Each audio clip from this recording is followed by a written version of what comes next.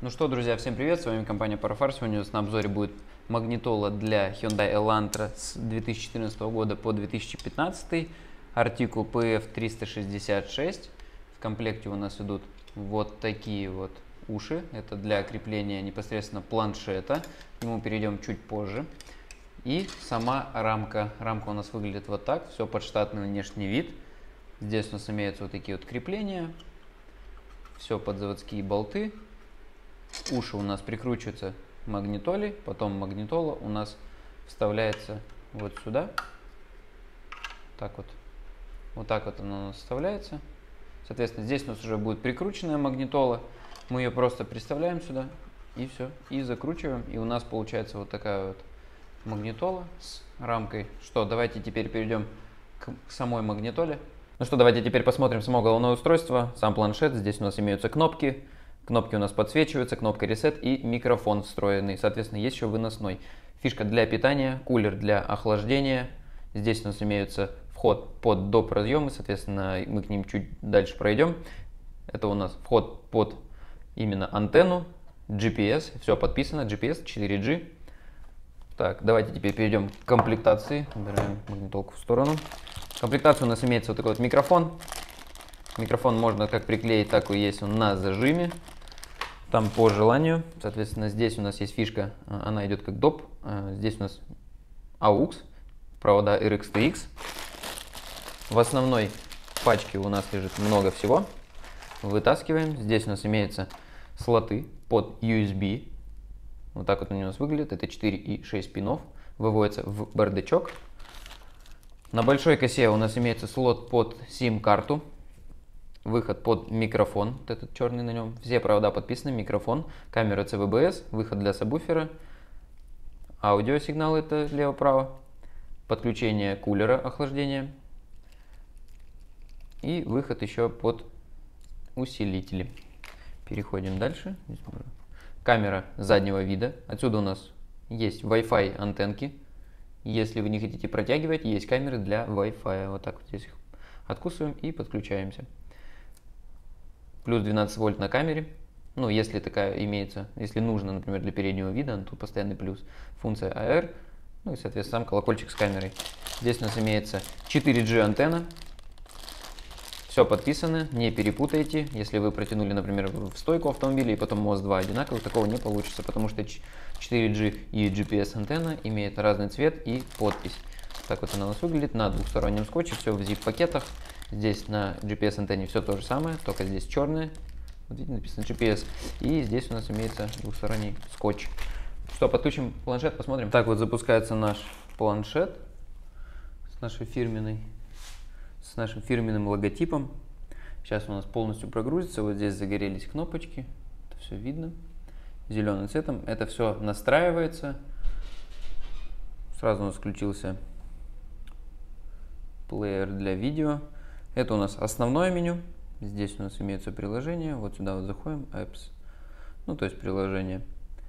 Здесь у нас имеется навигатор, который вы поставите сюда. Здесь в данный момент стоит именно Google, но его можно поменять на любой другой. Здесь у нас имеется встроенный проигрыватель для треков.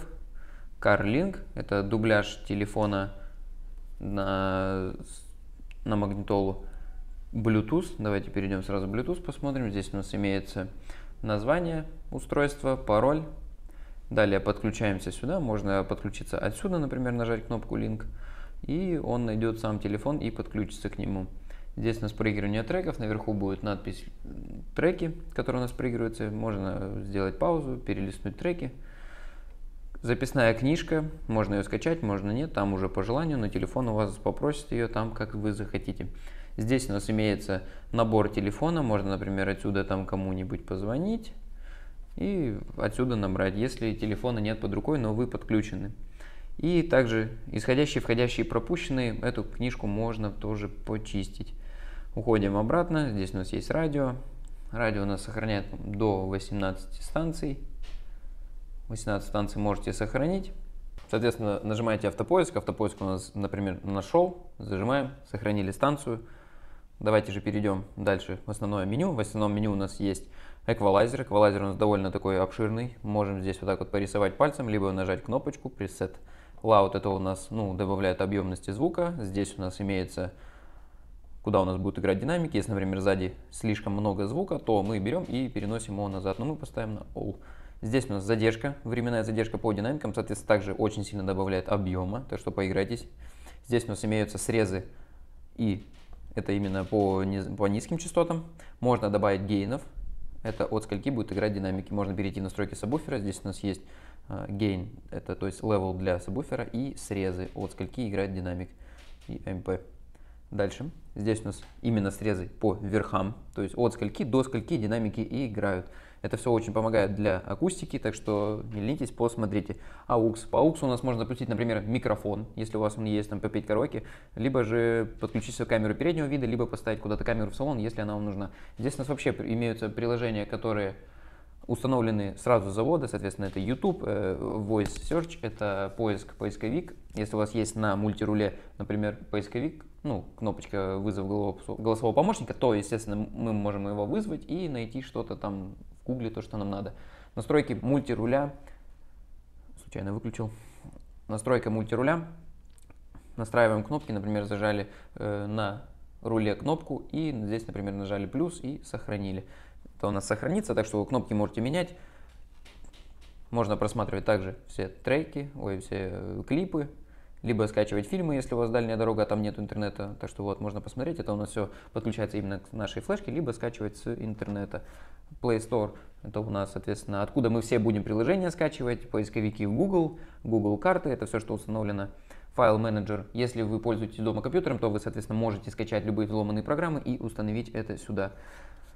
Что у нас еще есть? Настройки. По настройкам заходим в систему, заходим о, об устройстве, видим, это у нас 2.32, 8-ядерный процессор, он очень шустрый, намного шустрее, чем 4-ядерный. Еще дополнительные 4 ядра делают свое дело. Так что магнитола супер шустрая, галерея, здесь мы можем просматривать наши фотографии, если таковые имеются, подключать сюда, например, э, регистратор. Регистратор будет писать сразу непосредственно в магнитолу. Так что, друзья, вот такая вот магнитола сегодня была на обзоре. Всем пока!